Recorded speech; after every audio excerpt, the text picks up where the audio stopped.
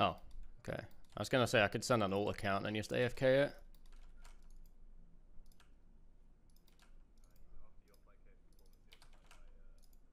That's literally not my fault. Oh, I killed a DHer. Ball gang. Uh, add another. Wait, wait, what? 11 mil? Wait, hold on. What the fuck did I? Oh, I got his AGS!